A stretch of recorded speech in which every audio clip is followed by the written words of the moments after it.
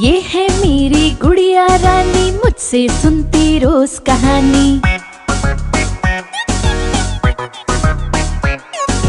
ये है मेरी